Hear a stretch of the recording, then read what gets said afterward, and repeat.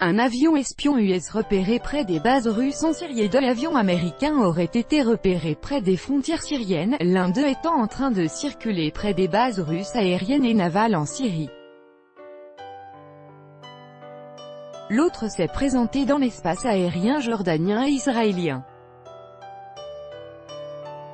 Un avion américain de patrouille maritime et de lutte anti-sous-marine P-8 à Poséidon a effectué lundi un vol de reconnaissance près du littoral syrien et de la base aérienne russe de Maïmim, ainsi que de la base navale russe de Tartus, rapportent les médias russes en citant des systèmes internationaux de surveillance aérienne.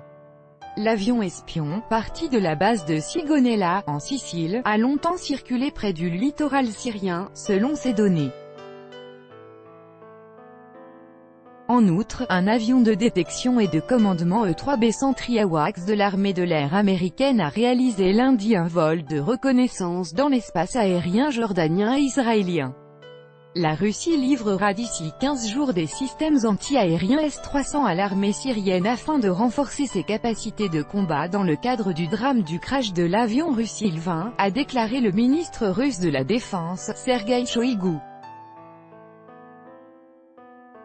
Ce missile est capable d'intercepter des moyens d'attaque aérienne sur une distance de plus de 250 km et de frapper simultanément plusieurs cibles aériennes, a-t-il expliqué. Cette déclaration a suivi le crash d'un Il-20 russe le 17 septembre.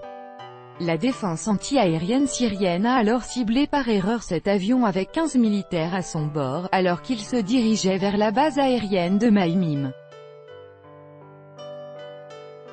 Le crash de l'avion a coïncidé avec un raid israélien contre la Syrie.